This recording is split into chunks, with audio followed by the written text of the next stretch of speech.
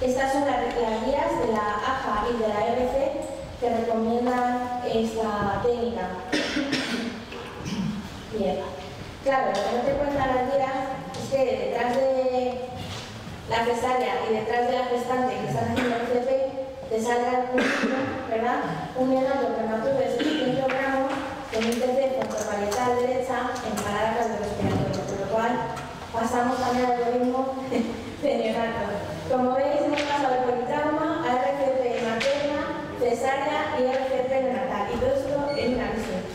Bueno, iniciamos RCP neonatal, problema. Imaginaos algo muy móvil, muchos trabajáis en ella, otras somos un espacio muy reducido, con una señora que está dentro de una camilla y donde haces la RCP al que está a, a pequeñín. Pues lo hicimos en la mano de Bea, la vía de la mano de Bea, para que os hagáis una idea, y, buscamos un espacio dentro de lo que cabe dentro de la UBI para trabajar. claro, si optamos por lo tanto por hacer una RCP básica, porque no había espacio y una cercanía al hospital. Recuerda que estábamos todos sobre las piernas de la mamá que, bueno, que ahora seguiré contando, eh, era un gran prematuro, tenía lesiones de gravedad, utilizaba que el tiempo. Nosotros poco íbamos a hacer, ¿no? Y no podemos hacer la RCP avanzada en marcha. ¿Eh? Y más si no tenemos espacio físico, nos trabajo en la camilla y no hay camilla, pues a ver qué hacemos, ¿no? Por lo tanto, decidimos no perder tiempo y llevar al bebé al hospital y al mismo tiempo hicimos adiós a la mamá. tenía depresiones incompatibles con la vida, os podéis imaginar que ese politrama tan grave que no podíamos hacer mucho más por, ella, ¿no? Bueno, esto es terapia peronato y traslado. Trasladamos a la paciente en el móvil, realizamos traslado con preaviso neonato a un hospital de nivel 3, a 12 kilómetros de distancia, 10 minutos, mientras hacíamos RCP básica en neonato y con la mamá fallecida ya en la móvil. Tardamos 10 minutos.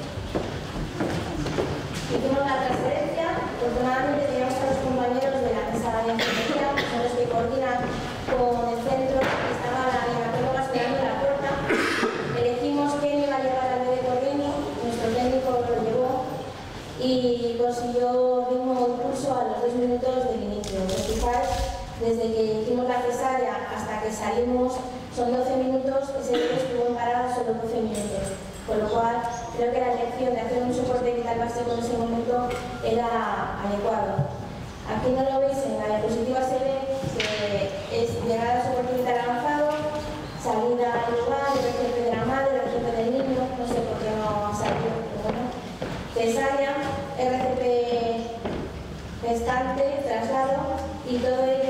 en 60 minutos. Desde que nos llaman, primera llamada, hasta que llegamos al hospital, 60 minutos. Esto para nosotros es un gran logro porque tantas cosas en solo una persona yo creo que, es interesante. Tras el aviso, la madre fallecida la teníamos en la móvil en la puerta del hospital de pediatría. Teníamos un problema legal, paciente fallecido, no podíamos mover la móvil, el jefe de guardia gestiona el cambio de la móvil y constata a los 45 minutos de la llegada al centro de mismo PCR el fallecimiento de, de La pregunta es, ¿estamos preparados? ¿Realmente estamos preparados para esto? Claro, después de esto, si veis la foto, hicimos un curso de RCP en gestante eh, con cesárea preparada, que ahora lo están llevando a cabo eh, nuestros compañeros de la RC, aquí en, España también, de RC de España, pues un poco para formarnos en estas técnicas. Es un caso cada 20.000, pero nos puede pasar. nos pasa a nosotras, os puede pasar a cualquiera de vosotros, ¿no? Y hay que estar preparado en la técnica. Realmente la cesárea no es difícil hacerla, el problema es el tiempo. Que a veces nos veamos en la vía aérea nos llevamos a tubo, nos llevamos a cosas y no, no llegamos a, a buen puerto, ¿no? ¿Qué tenemos que hacer? Pues eh, implementar procedimientos de los servicios de emergencia en el caso de PCR gestante. Y una de las cosas que a nosotros nos hizo falta, si os recordáis, un equipo que debería haber quedado con la mamá y otro equipo con el bebé. Entonces, sería necesario, dado que la activación simultánea, si es posible de su sistema, sistema superviviente avanzado, porque claro, nos tenemos que, que duplicar, ¿no? Y ahora os dejo.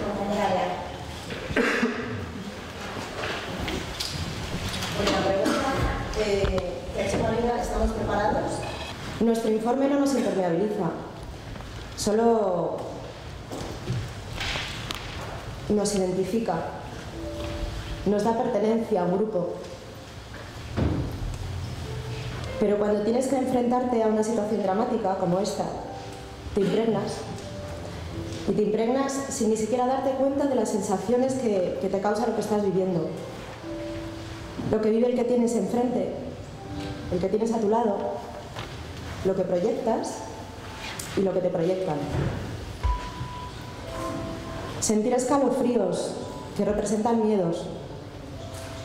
Sentir el calor de un líquido cuyo recipiente era la vida de una mujer que se ha escapado entre tus manos. Pero que a su vez esconde una luz de posibilidad para la supervivencia.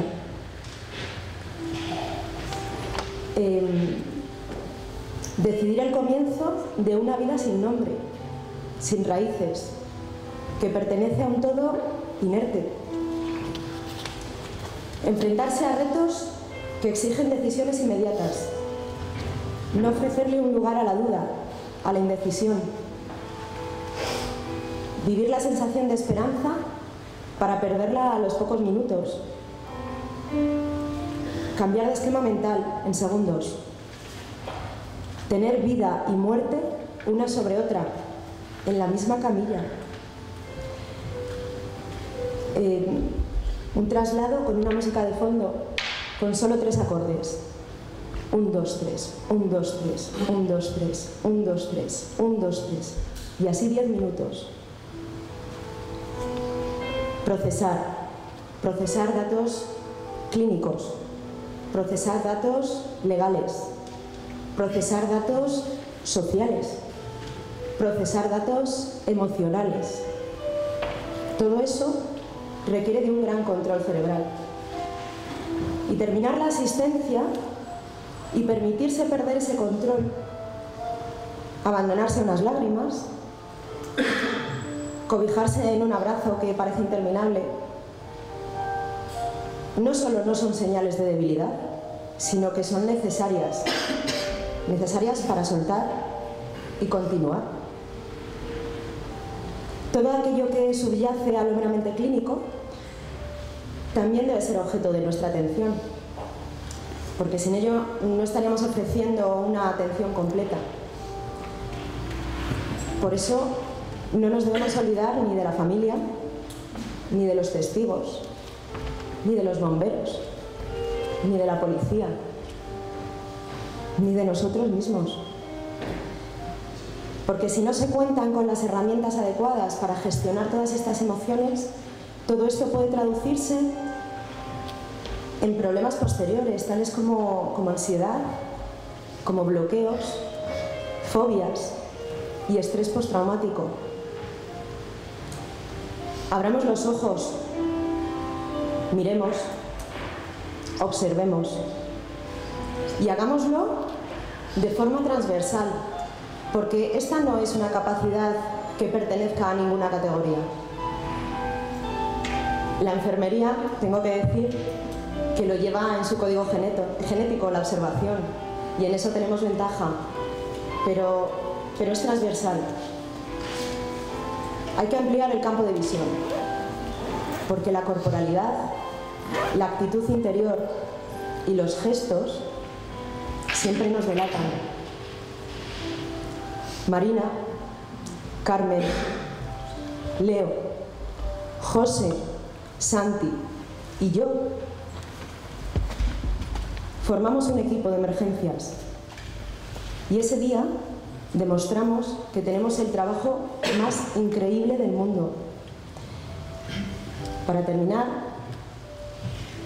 me gustaría dejaros esta frase y que nunca se nos olvide, porque como decía Gandhi, nuestra recompensa se encuentra en el esfuerzo y no en el resultado. Un esfuerzo total es una victoria completa. Muchísimas gracias.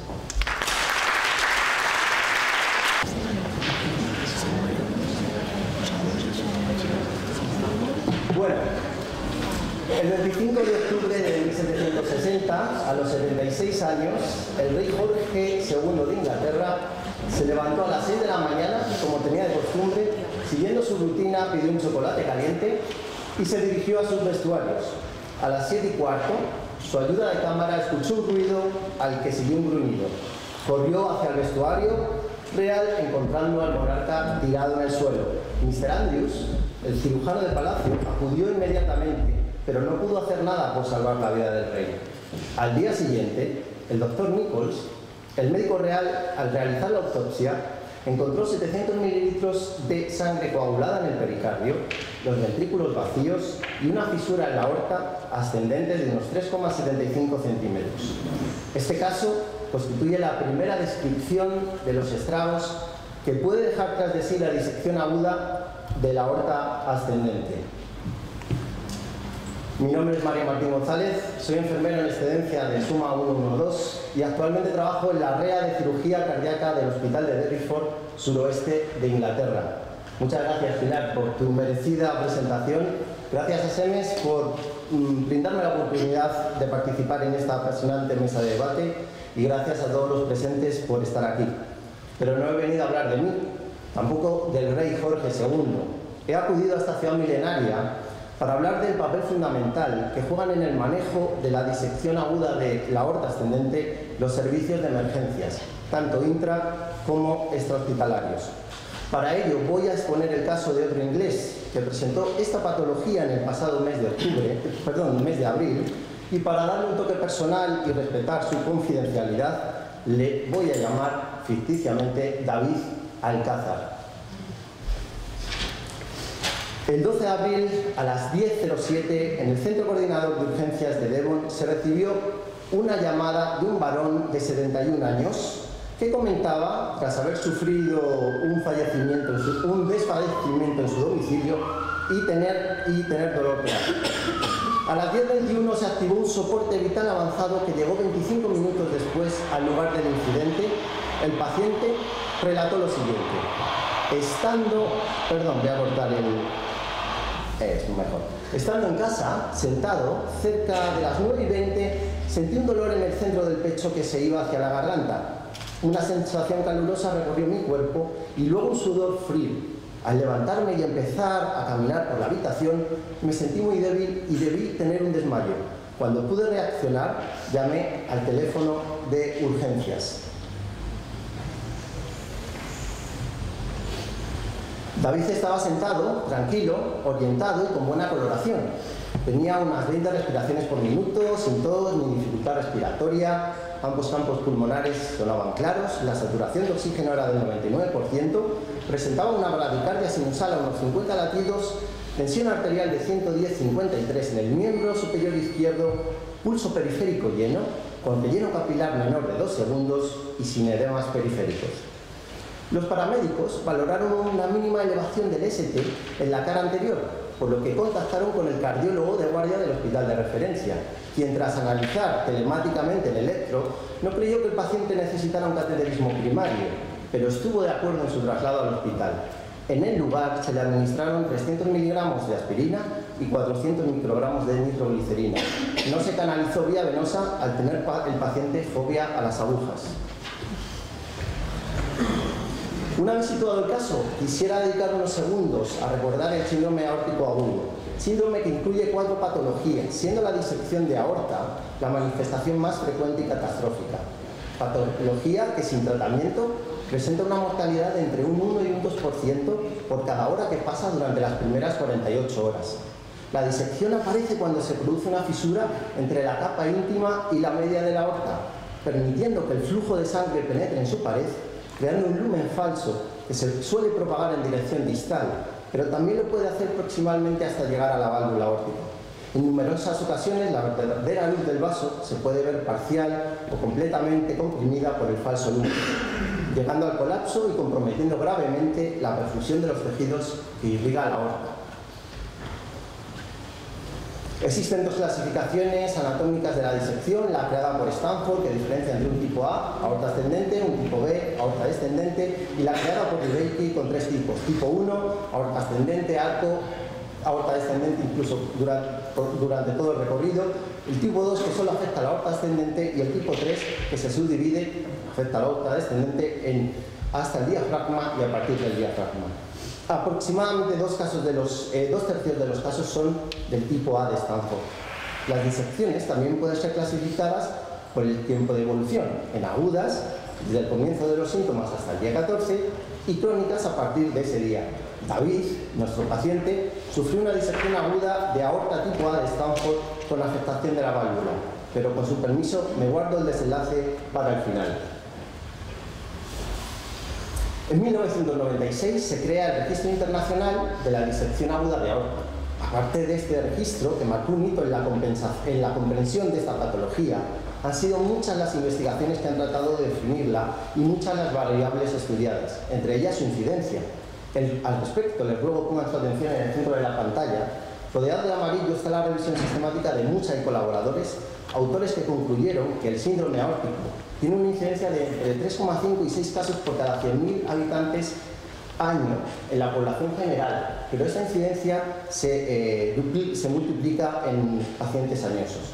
Me gustaría resaltar los estudios de Moriwati y Tanaka en la parte inferior, resaltados en verde, autores que encontraron que hasta el 1, 8 y un 7% de los casos la causa de muerte de los pacientes que habían sufrido una parada cardiorrespiratoria extrahospitalaria había sido causa de una disección de aorta. Los factores de riesgo incluyen ser hombre, una relación de 2 a 1, estar en la década de los 60 y ser hipertenso, que es el factor más importante. Aunque existen otros condicionantes como ser fumador, cirugías cardíacas anteriores, sobre todo de la válvula óptica, obesidad o presentar enfermedades del tejido conectivo como el síndrome de Marfan. Habíamos dejado al señor Alcázar ingresando en la urgencia del hospital de Torbay, eran las 12 y 12 del 12 de abril. Torbay es un hospital secundario con capacidad para hacer hemodinámica. David estaba estable, pero al aplicar la escala de San Francisco para la estratificación del riesgo, tras sufrir un síncope, se le cataloga de alto riesgo al presentar un electro patológico. En el primer electro de urgencia se aprecia una bradicardia sinusal a unos 51 latidos por minuto, eje a la izquierda, signos de hipertrofia ventricular izquierda inversión de la onda T en V2 y en 3. Con ligera elevación del ST en V3, electro similar al obtenido por los paramédicos, salvo que ahora presenta una T invertida en 3. Se diagnostica un síndrome coronario agudo sin elevación de ST, se programa para cateterismo, se solicita analítica sanguínea con nivel de troponina T, la primera de 78 nanogramos por litro, y radiografía de tórax que se informa como normal. Además se pauta y se administra 2,5 miligramos de fondo parinus y 600 miligramos de Plavix. A las 16.05 David presenta un cuadro de hipotensión de 54-40 con bradicardia a unos 40 latidos, que cursa con palidez, sudoración fría, náuseas y taquimia. Se le administran 250 mililitros de salino, 600 de microgramos de atropina, con buena respuesta. Em, se le realiza una gasometría arterial, no es patológica, se repite el electrocardiograma, no hay cambios. Se le traslada a la unidad coronaria a las 20.30. Ya en la UCI la segunda troponina de 125, se le realiza un ecocardio transtorácico a las 12 y 50 del mediodía del día 13. El paciente presenta una dilatación de la raíz y aorta ascendente con función moderada de la válvula, de difícil valoración y derrame pericárdico sin compromiso hemodinámico. Se suspende la petición de la angiografía coronaria, se programa un TAC urgente que diagnostica una disección de aorta tipo A de Stanford. Se coordina un traslado interhospitalario emergente para la cirugía, para cirugía al hospital de Derrisburg. Son las 16.30. Dejemos por un instante al señor Alcázar pendiente del traslado para comentar algo sobre la sintomatología y las pruebas diagnósticas de esta patología. La disección suele dar un primer aviso, provocado por la disrupción de la capa íntima que se asocia con dolor severo y pérdida en el volumen del pulso. El segundo evento aparece cuando la presión esté del valor límite y se produce la ruptura de la aorta. Aproximadamente el 27% de los pacientes presentan la triada clásica, es dolor torácico, de aparición abrupta y desgarrador, diferencia de pulsos de más de 20 milímetros de mercurio y un mediastino agrandado en la radiografía de tórax. Pero Sin embargo, cerca del 45% de los pacientes no presentan ninguno de de los síntomas clásicos. La hipotensión aparece en más del 25% de los casos y está asociada con clínica neurológica e isquemia miocárdica, mesentérica, de miembros y muerte de hasta el 55% de los pacientes. Cerca del 20% de las disecciones de aorta tipo A presentan cambios isquémicos en el electro, pudiendo aparecer taquicardia, que si va seguida de hipotensión suele ser un signo de ruptura de la aorta, taponamiento cardíaco, resuscitación de la válvula aórtica o infarto agudo de miocardio. En cuanto a las complicaciones, podrán entender que es lógico eh, que se presenten dependiendo de la zona de la aorta que eh, está afectada. Dos apuntes al respecto. Tanaka y colaboradores encontraron una incidencia del 91% de derrame pericárdico en pacientes con muerte tras parada cardiorrespiratoria extrahospitalaria que presentaban disección de aguda de aorta tipo A. Igual colaboradores sugirieron como ítem de calidad en el manejo extrahospitalario del síndrome coronario agudo la aplicación de una escala de riesgo y un ecocardiógrafo para descartar una posible disección. Debido a la alta inespecificidad, eh, inespecificidad sintomatológica, la incidencia de fallos en el diagnóstico se sitúa en algunas series entre un 14 y un 39%. Conseguir un diagnóstico temprano es crucial debido a la alta mortalidad tiempo dependiente de esta patología. En esta tabla pueden ver las sugerencias de las guías europeas. El pretest de riesgo, la ecografía y el TAC copan los primeros puestos. Paso a nombrar brevemente algunos de estos métodos diagnósticos, empezando por la escala de riesgo. Al respecto, Nacerian y colaboradores publicaron en el 2017 un estudio que avalaba la incorporación de una escala de riesgo junto con la detección del dedimero para la detección de la disección de aorta.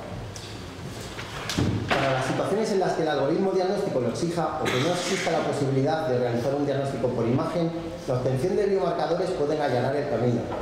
Comentar que las troponinas suelen estar elevadas, hasta en un 25% de los casos. El dedímero puede ser útil, como hemos visto, y se abren algunas líneas de investigación, como las de Diachino y colaboradores, con un modulador molecular llamado MMP8 que se eleva en las lesiones de grandes vasos. En cuanto al electro, pues es que puede ser desde normal hasta ser un electro realmente patológico, isquémico. Un dato curioso, que Mal y colaboradores aseguran haber encontrado una correlación entre la aparición de un QRS fraccionado en al menos dos derivaciones consecutivas y un aumento de la mortalidad intrahospitalaria de la disección de aorta. Las pruebas de imagen, el gol estándar es la TAC y las ecografías, tanto transtorácicas como transesofágicas, por su disponibilidad y por sus buenos datos estadísticos y en cuanto al manejo eh, preoperatorio de esta patología, incluye el soporte de la vía aérea, historia y examen clínico, constantes vitales, acceso venoso y analítica completa, electrocardiograma, manejo cuidadoso de la sueroterapia, manteniendo históricas entre 110 y 120, con unas medias de 80, los beta bloqueantes son la primera línea de uso, los calcio antagonistas los segundos, evitar los vasodilatadores porque pueden provocar una taquicardia refleja y mayor, estrés en la pared de la arteria y uso del micropulsor de sodio si no se consiguen. Morfina para el dolor, pruebas de imágenes y cirugía. En caso de que el, paciente presente hipotensión por un taponamiento cardíaco, la pericardiocentesis no está recomendada y sin embargo Hayashi y colaboradores hicieron un estudio y refieren haber demostrado que el drenaje pericárdico preoperativo de la disección aguda de aorta ascendente con control de volumen es seguro y efectivo. En cuanto al tratamiento eh, definitivo, eh, con muy pocas excepciones, continúa siendo un claro ejemplo de cirugía de emergencias a corazón abierto. La operación a menudo envuelve la, la sustitución proteica de la aorta ascendente, incluyendo el arco, con o sin la sustitución de la válvula. Como pueden ver en esta eh, diapositiva, eh, la incidencia de mortalidad preoperatoria es realmente alta, un 1,04%, solo superada en la cirugía cardíaca por la cirugía de la rotura de pared ventricular tras infarto agudo miocardio. Estamos acabando para decir que David Alcázar fue trasladado en soporte vital avanzado de nuevo los servicios de emergencias extrahospitalarias en escena al hospital de Derrifo con una perfusión de la betalol. Entró en quirófano a las 6 de la tarde del día 13. Salió 10 horas después. Se le reemplazó la válvula y la raíz de aorta. En total recibió 5 bolsas de sangre, 6 de plasma, 3 de plaquetas y una de crío precipitado. Ingresó en la REA en ventilación mecánica, sedado con propofol y analgesiado con remifentanilo, con perfusiones de noradrenalina, dopamina e insulina rápida, así como con monitorización cardíaca avanzada mediante catéter de Swan A las 4 y 28 del día 15 fue estubado. Tuvo una fibrilación ventricular a las 8 y 55 de ese día, con RCP durante dos minutos y una descarga. Fue trasladado a la unidad de alta dependencia contigua a la REA a las 12 y 44 del 16 de abril a planta el 17 y dado de alta una semana después, con buen pronóstico. Yo le cuidé el día 16. Me confesó que estaba enamorado de los picos de Europa y de Galicia, era un gran montañero, y que estaba profundamente agradecido a todos y cada uno de los profesionales sanitarios que le habían eh, literalmente salvado la vida, pero que en especial se acordaba de los servicios de emergencia extrahospitalarios. Tres frases, esta patología tiene muy poca incidencia, mucha o una alta mortalidad y necesita de un alto índice de sospecha por los clínicos.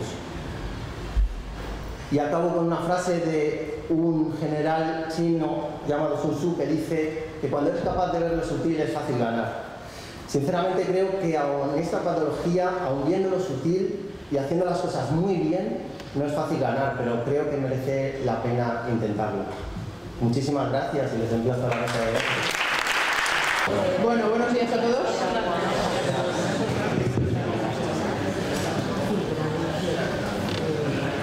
Primero, eh, agradecer a la organización que me llamara para un tema que saben que me apasiona y que voy a intentar reducir al máximo. No tenéis tiempo ni de parpadear, así que mm, estar atentos a la pantalla porque el volumen de información que intentaré dar en este rato es, es alto. Tengo una pregunta para Pilar, a ver si se, está entretenida y no tiene en cuenta el tiempo. Eh, un niño y un pato nacen en el mismo día. Eh, un año más tarde, ¿cuál de los dos es mayor? Vas pensándola y mientras tanto yo hablo, ¿vale? Dicho esto, eh, quería agradecer también a, los compañeros de mi hospital de San Antonio de Manresa que me han estado aguantando estos días de ensayos y de, y de mejorar la presentación con ellos. Cuando me llamaron para, para hablar de este tema, la verdad es que que me emocioné porque es un tema que dentro de mi formación francesa le dedicamos más de dos años a la hemodinámica y espero no dejaros en shock después de lo que os voy a contar intentando actualizar al máximo eh, los datos que han salido muchos este, en este último tiempo. Y en todo caso lo que sí espero es que nos acabemos de despertar, que con las dos primeras ponencias que me han precedido eh, es fácil porque han sido, han sido de un gran nivel. Dicho esto, sabéis que mi pregunta favorita es esta, ¿no? ¿Qué, significa estar estable dentro de la gravedad? El paciente que tiene los números muy tocados, sabemos seguro que está eh, inestable y nos ponemos las pilas. A mí me interesa mucho el paciente que aún no tiene los números muy tocados y en el que nos hemos de poner las pilas porque ya hay hipoxia tisular. En la era, disculpar, en la era en la que la monitorización hemodinámica ha dado un gran vuelco y es eminentemente no invasiva, en una patología tiempo dependiente y en la que nuestro objetivo es conseguir que llegue oxígeno a los tejidos.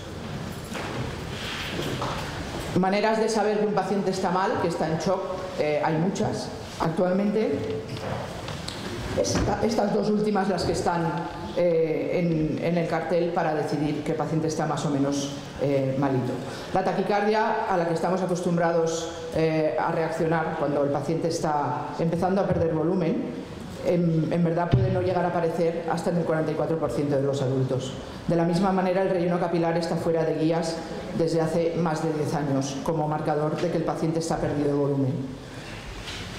La tensión arterial es un objetivo hemodinámico pero la tensión arterial no es lo mismo que el flujo y a mí me interesa el flujo que llega a los tejidos, no la tensión arterial, eh, incluso la media. Sí que me sirve el índice de shock, el índice de shock modificado, que es, a ver si encuentro el puntero, que es la división entre la frecuencia cardíaca y la presión arterial media del paciente para saber si está más o menos en hipoxia tisular. Lógicamente me sirve el exceso de base eh, a nivel ya de urgencias hospitalarias y me sirve como marcador eh, de hipoxia tisular que mejora o no la lividez rotuliana en un paciente en un ambiente normotérmico exterior que, con mi relleno vascular o mis drogas vasoactivas. Me sirve el lavado de lactato, eh, que intentar que sea más o menos del 10% en las primeras tres horas Y lógicamente este paciente pasará inicialmente por una fase de relleno vascular, una fase de relleno vascular que no voy a entrar a detallar aquí porque el, objetivo de la, de la charla es las drogas en el shock. Lo que sí que quiero es que seáis capaces de responder cuando estáis poniendo este relleno vascular a si el paciente está en fase dependiente de volumen o no y si estar en esa fase dependiente de volumen o no es sinónimo de si puede aceptar ese volumen que yo teóricamente le quiero administrar. Y estas son las dos grandes preguntas. ¿Cuánto fluido es necesario para determinar que un paciente es respondedor a volumen?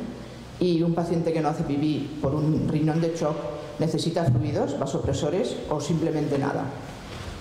A partir de aquí, lógicamente, antes de levantar las piernas, que sabéis que soy muy pesado con él, para determinar si el paciente está dependiente de volumen o no. ¿vale? Eh, esta es la última revisión. Eh, bueno, hay que, hacer, hay que hacer levantar las piernas y luego bajarlas. ¿eh? Eh, también sabéis que la capnografía es un marcador directo del gasto cardíaco, con lo cual si levantando las piernas mejora la capnografía, el paciente es respondedor a volumen. Las guías clásicas, esta del 2013, decían que tenía que ser del 5% de la variación. Actualmente, con que suba un milímetro de mercurio el entaidal al subir las piernas, se considera que el paciente va a responder a volumen. En la capnografía, además, en base a la hipoxia tisular de que está en relación con el lactato de manera directa, eh, ya se sabía hace bastantes años y se ha refrendado en este último estudio de, mitad del año pasado, en el que se correlaciona el valor expirado de Camno con el nivel de lactato arterial eh, en sangre. Nivel de lactato que está por encima de 4 si la CAMNO está por debajo de 21. Así que con la CAMNO y con la ECO multiórgano hemos de ser capaces de monitorizar a un paciente de manera dinámica para ver si es respondedor o no y si está respondiendo a las drogas. En cuanto a esto, ¿qué es el shock refractario? Esta es la última, la última publicación de finales del año pasado. El shock refractario básicamente es un shock que no responde a todo lo que le estás haciendo, incluidas drogas vasoactivas y inotrópicas. ¿De qué dispongo como drogas? Dispongo de vasoconstrictores, los más habituales y clásicos son esos, y dispongo de eh, inotropos. También los más habituales y clásicos son esos.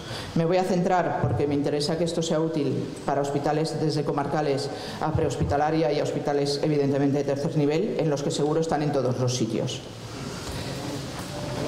Me gusta el término inopresores, que es un término que podéis encontrar en la literatura para referirnos a los inotrópicos eh, específicamente. Y el, tema, el truco está en saber dónde está el problema. ¿Está en el corazón derecho o está en el corazón izquierdo? A partir de ahí, si soy capaz de, tener claro eso, también he de conocer las causas clínicas que debo sospechar y tratar para que los vasopresores tengan una buena respuesta, porque hay muchas causas clínicas que si no las trato, por mucho que ponga vasopresor, el paciente no va a mejorar de, de su hemodinámica y de su tensión arterial media. La estrella de la película es la Nora. La Nora es un potente agente alfa eh, y me interesa no destacar y hacer la ficha clínica de la Nora, sino destacar que son precisamente estas dosis bajitas eh, beta, que son un poquito más desconocidas, las que yo busco eh, cuando se la pongo a un paciente que ha perdido volumen para intentar que ese volumen que yo he puesto llegue al corazón derecho y mejore la tensión arterial. Eso es muy importante. Después está la adrena, la adrena es otra, otra droga eh, vasopresora muy potente que te puede ayudar a que hasta que la nora haga efecto eh, puedes poner microdosis endovenosas de, adrenalina para mantener la tensión arterial o intentar mejorarla. Se prepara haciendo una ampolla de adrena en 9 de fisio en una jeringa de 10 y a partir de ahí pones 0,1 miligramos para adulto eh, estándar cada 4 minutos. Con eso mantienes el, efecto beta de la nora hasta que la nora entre en sangre. ¿vale? Lógicamente la, nora tiene unos, la adrena tiene unos efectos secundarios que hace que sea peor elección que la nora, pero unos efectos secundarios que dependen de su estímulo de receptor beta 2, que la nora eso no lo hace, y que son básicamente aumentar el lactato, aumentar la glicemia y un poquito más de, de efecto taquicardizante. La tercera reina de la película o estrella de la película en, el cuadro de las eh, vasoactivas es la dopa. Eh, la dopa más que estrella es estrellada. Eh, de alguna manera hace demasiado tiempo que está fuera de muchos procedimientos y guías clínicas europeas. Os voy a presentar una selección de artículos, empezando por este del 2010, que comparaba dopa y nora en el tratamiento del shock, en el que salía perdiendo la dopa claramente por mayor efectos adversos. Eh, para seguir con este otro, en el que sale resumida que en Alemania y en Francia está fuera de catálogo el uso y la, disponibilidad de la dopa el metaanálisis eh, más reciente de octubre del año pasado, Prisma, que comparaba con la NORA y que volvía a decir que la DOPA sale perdiendo porque aumenta las arritmias y aumenta la mortalidad. Y siguiendo en esa línea, incluso la Cochrane, que se moja poco en decir cosas muy definitivas en ocasiones, mm, en su revisión de hace nada, pone a la DOPA contra la pared. otra publicación que te dice que la dopa mm, aumenta mortalidad y, arritmias. En esta revisión última del manejo del, del shock cardiogénico, la dopa está fuera. Y en esta revisión del manejo del fallo derecho, eh, la dopa está fuera. A partir de aquí, el shock séptico eh, que es una entidad compleja hemodinámicamente y fisiopatológicamente, seguro que todos estáis de acuerdo en que hay que poner NORA, pero hay que recordar que el 20% de los pacientes en shock séptico tienen shock cardiogénico asociado dependiente del corazón izquierdo. Así que en algún momento habrá que pensar que si no responde a la NORA, a lo mejor hay que añadir dobuta a dosis, eh, a dosis medias. Aquí, lo ponen, sale la, la dobuta y sale la, la, la NORA. ¿Vale? Quería comentaros, por si algunos no lo conocéis, que hay una serie de índices que predicen y eh, te permiten saber un poquito la evolución hacia la mortalidad de los pacientes sépticos que están basados en el uso de drogas vasoactivas. Evidentemente no tengo tiempo de desarrollarlos todos, aquí os presento los tres más importantes y solo a modo de ejemplo para que veáis cómo se calcula el índice BIS, eh, básicamente es ir sumando cuánta dosis estás poniendo de cada uno de los fármacos que tienes disponible. El primero espero que después de, esta ponencia este sea un cero a sumar, pero eh, en todo caso se trata de ir sumando y eso se correlaciona con la mortalidad de ese paciente. Y en cuanto a la vasoplegia, que es quizás la entidad fisiopatológica que más eh, mm, envuelve al, shock eh, séptico, solo quería recordaros que la vasoplegia está demostrado que ocurre en cualquier tipo de shock. Por eso la noradrenalina es tan esencial como primera línea. Seguimos avanzando y vamos al corazón derecho, que para mí es una de mis pasiones en hemodinámica eh, desde hace mucho tiempo. Estamos acostumbrados a que un paciente con TEP agudo, masivo, que tenga dilatación de cavidades derechas, eh, le pongamos volumen para intentar mover ese stop que hay en la arteria pulmonar, mejorando la mecánica del corazón derecho. Y hace tiempo, pero sobre todo en esta última revisión, que es de este año 2018, se sabe que el ventrículo eh, derecho dilatado porque tiene un stop en la salida de la arteria pulmonar, lo que hace es comprimir ventrículo izquierdo. Y el problema de gasto cardíaco de este señor o paciente no es que el ventrículo izquierdo, o sea, que haya que poner volumen para intentar mejorar eso, sino que hay que aumentar la fuerza del ventrículo izquierdo. Si tú no aumentas la fuerza del ventrículo izquierdo, que el problema que tienes de espacio por tamaño del derecho, no vas a conseguir mejorar eh, la hemodinámica del paciente. Aquí tenéis un cuadro que evidentemente tampoco detallo de toda la fisiopatología que envuelve a esta, a esta entidad de compresión del ventrículo izquierdo que acaba en un síndrome llamado cardiorrenal, que es que como sale poca sangre por el izquierdo, porque está comprimido y no tiene espacio, no llega sangre al riñón y entramos en un bucle, que no se trata con volumen, porque si metes volumen dilatas más el derecho y si dilatas más el derecho comprimes todavía, todavía más el izquierdo. Aquí veis que en esta revisión del 2018, que es una guía clínica, te hablan de que habría que empezar a pensar en meter dobuta en estos pacientes y honora, pero no volumen. En la última guía clínica escandinava, que es de, presentada en enero de este año, vuelve a decir lo mismo. Por favor, si hay TEP, meta usted dobuta, no meta volumen y en castellano, porque alguna publicación en castellano nos viene bien de vez en cuando, al menos yo que mi inglés no es súper bueno, eh, aunque es del 2013 ya salía que en el shock dependiente de corazón derecho por dilatación de cavidades hay que poner nora y dobuta, no volumen. La dobuta la doy por sabida. Eh, en la revisión esta del shock cardiogénico eh, derivado de patología coronaria aguda, la dobuta Nora de primera elección y la Dobuta de, de coadyuvante. Y para ir acabando el, tema, para que veáis que me he revisado las guías clínicas de diferentes países, la última que salió en Canadá eh, es del 2015 y hace unas recomendaciones finales que os las pongo aquí, pero las repasaremos en la última diapo, de que realmente el tema vamos entre Nora y Dobuta, entre Dobuta y Nora. Sin olvidarnos de que hay que corregir el calcio, porque el calcio, eh, si no lo corriges, y esto está presente en muchos de estos pacientes, te obligará a dar más dosis de vasopresores y hay que intentar bajar las dosis de vasopresores al máximo.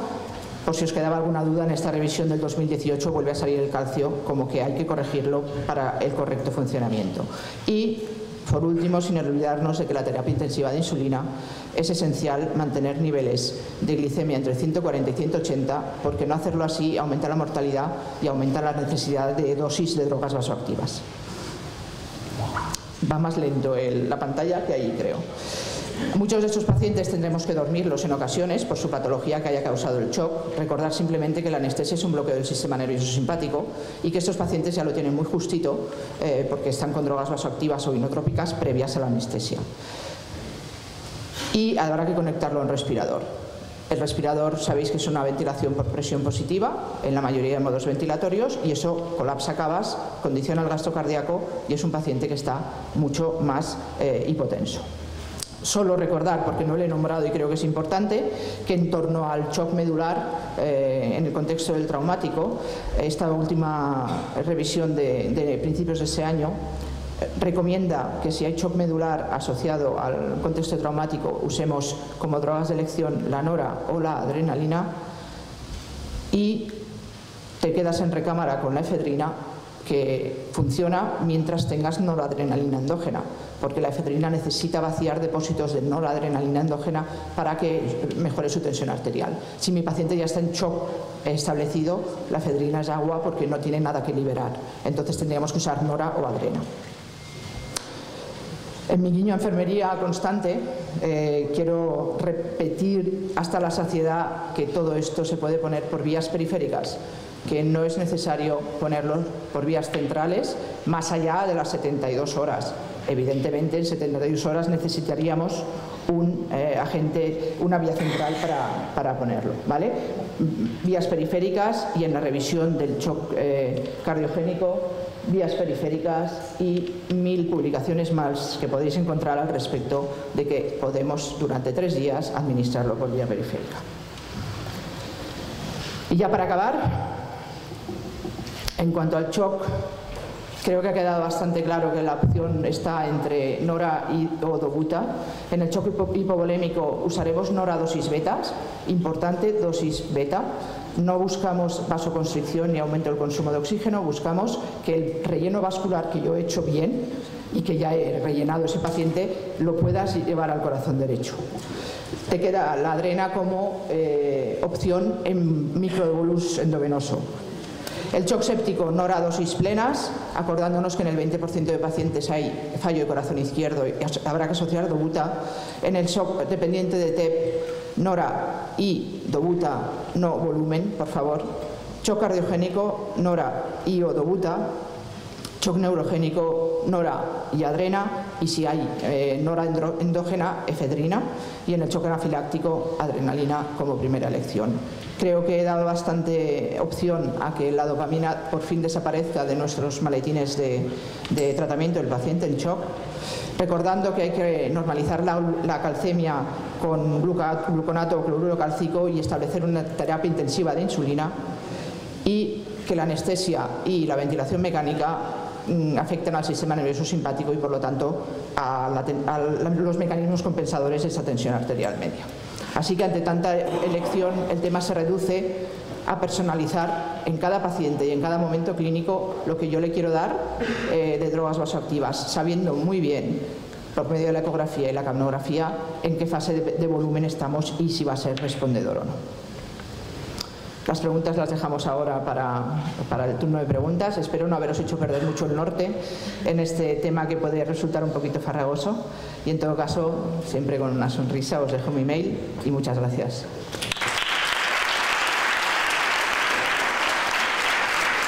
Soy Maribel, médico del SUMA y del helicóptero de Cuenca. Quisiera preguntarle a Susana, que no me ha quedado claro, los niveles de glucemia que son convenientes mantener en el show.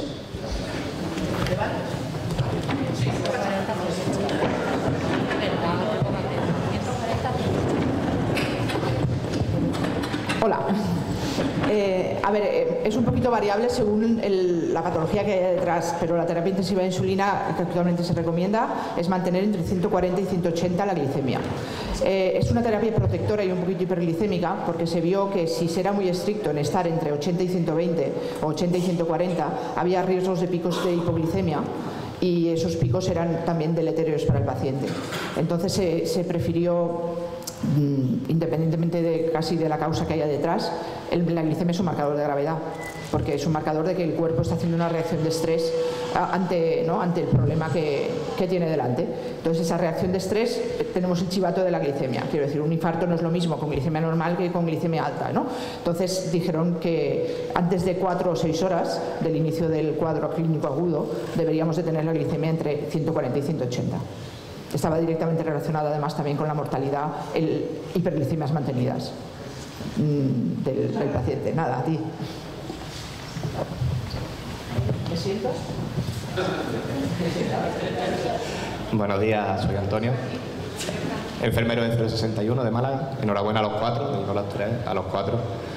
Y en este caso a Marina y, y a Bea. A las dos, Marina, gracias, pero sobre todo gracias, Bea, por hablar de cuidado, por hablar tan bonito, ¿no? Porque yo creo que, que nos ha encantado a todos. La pregunta, yo la respuesta la tengo clara, lo que habéis contado, no estamos preparados, ¿no? Pero mm, después os han ofrecido ese apoyo psicológico dentro de la empresa, ¿tenéis esa posibilidad?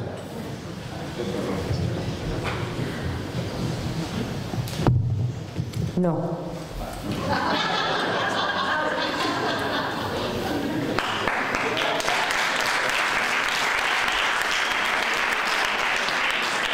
Ni tan siquiera nos han preguntado.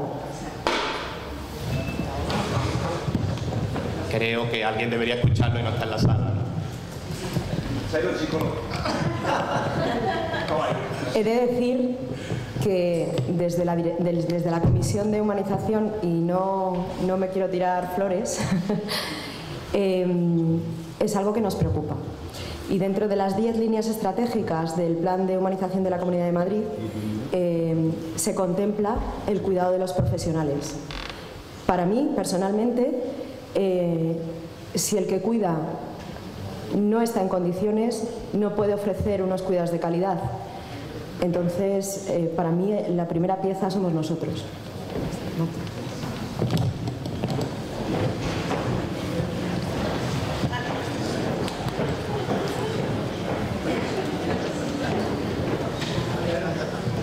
Hola, muy buenas. Eh, felicitaros a todos. Yo creo que han sido muy buenas ponencias y buenos casos. Eh, Susana, te tengo que hacer levantar. Lo siento, lo siento, pero te tienes. Ya te esperaba. En el TEP inestable, ¿Perdona? en un TEP inestable, es que En un TEP, sí. aquí se me oye bien o no. Mm, No. No, no, aquí. En un TEP inestable, eh, con, el- con las cámaras dilatadas de- de- del, del derecho, fibrinolizar, ideal, ¿no? Pero ahí, usa- ahí usaría- usarías el volumen, ¿Perdona? usarías el volumen ahí, es decir, eh, A ver, no es- fibrinolizas, usas En eh, no noradobutta y, y te apoyarías de volumen. En medicina no hay absolutos, ¿vale? Hay que individualizar en cada paciente. Evidentemente haría un estudio rápido de, con eco multiórgano de a ver cómo está no solo el corazón derecho, sino también otras estructuras. Pero si mm, mi fracción de eyección del izquierdo está comprometida por, por compresión, por dilatación de cavidades derechas, eh, el volumen ahí no necesita volumen, lo que necesita es lisis y, lógicamente, inótropos eh, tanto de territorio venoso como de territorio arterial. Yo ahí sí que lo tengo claro y últimamente he vivido un caso en el que se puso volumen y, el paciente no, no salió adelante. Eh, así que, de alguna manera, voy seguro a mejorar la fracción de eyección del izquierdo. Eh, yo quiero abogar por, por el tema de la ecografía, eh, esta hospitalaria me parece, y la CAPNO, la suma de las dos, incluso para el compañero de, mm, de la disección, ¿os imagináis a esos extras eh, técnicos de emergencias, o nosotros mismos, eh, con capnografía y eco? A lo mejor, a ver, lógicamente la eco tiene que tener... la eco la eco estamos, exacto, no, vale de nada. A mí me puedes dejar un Ferrari, si yo no sé conducir no me vale de nada. Eh, pero creo que, eh, por ejemplo, formación básica arreglada y acreditada, formación continuada en, ecoscopia, esto hospitalaria, no te digo eh, ecocardio arreglada, que para eso están los cardiólogos, pero en, ese caso, por ejemplo, lo mismo se había podido derivar desde un principio a un centro útil. Eh, en el caso del compañero de, la disección, se hubiera podido derivar a lo mejor a un centro útil directamente. Eso, eso todavía aumenta más la supervivencia. Luego, eh, bueno, Eso es evidente, ¿eh? la ecografía multiórgano, donde yo, esté... Yo, creo que la capnografía... y la capno, por supuesto. hombre, que no falte la capno. la capno y la eco, yo creo que es algo que que las gerencias de emergencias hospitalarias se tendrían que poner las pilas, las pilas de verdad, y, concienciarse de eso nosotros mismos, que yo creo que estamos más que, que las gerencias, ¿no? Pero bueno, no, es por crítica, perdón, no es por criticar a las gerencias, pero me parece importante que tomen nota de ello. Otra de las cosas también que me ha parecido importante del compañero de, la asistencia psicológica, ¿no? que tomen nota de ello. Es que tratamos con personas, no tratamos con cajas, papeles, no, no, tratamos con personas. Entonces, y nosotros somos personas. Con lo cual, y, ya por terminar, en la primera ponencia ha habido una parte que, que me ha parecido muy clave, ¿no? Y a veces es difícil porque depende, yo he estado en el centro coordinador también y depende de la información que se recoja, ¿no? Eh, pero si ya es un politrauma embarazada, como has dicho, ¿no? la clave eh, envía dos unidades de, inicio, dos unidades, hay que enviar eh, dos porque si no nos podemos ver en ese papelón. ¿no? Claro. pregunta más? Efectivamente, importantísimo, politrauma embarazada. No tiene por qué caerse de un cuarto, como a nosotros nos pasó, pero imaginaos un accidente de tráfico, ¿vale? Tan sencillo como eso, un accidente de tráfico, que las tenemos, ¿eh? y muchas veces, ¿no? Eh, es fundamental el apoyo psicológico, es decir, que nos llamó directamente la dirección del servicio según ocurrió el evento, pero seguimos trabajando, Señores, trabajamos 24 horas. Este aviso fue una hora y nos cambió la vida. Imaginaos después de esto eh, trabajar. ¿eh? Quizá hay que cuidar a los que, a los que cuidan, ¿no?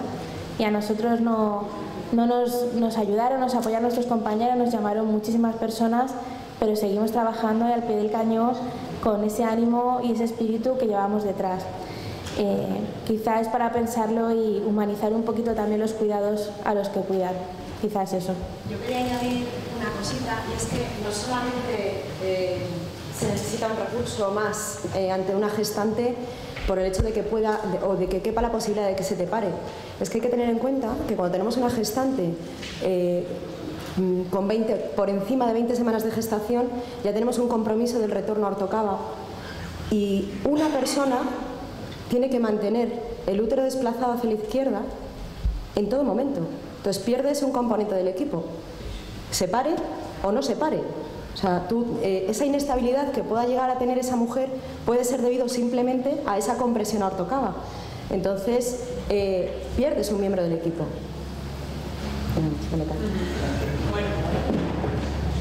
Eh, se nos echa el tiempo encima ya. Y una vez vista todas las exposiciones, todas las preguntas, seguro que hay alguna más, pero bueno, tenemos que dejar la sala. Eh, dar las gracias a nuestros ponentes, que ha sido excepcional. Eh, esta mesa de casos clínicos nos sirve a todos para seguir creciendo, para seguir aprendiendo, puesto que nuestro trabajo consiste en esto, seguir aprendiendo, mejorando y esto es un continuo. Espero que os haya gustado a todos y daros las gracias por estar aquí y damos la mesa por concluida. ¿vale? Muchas gracias.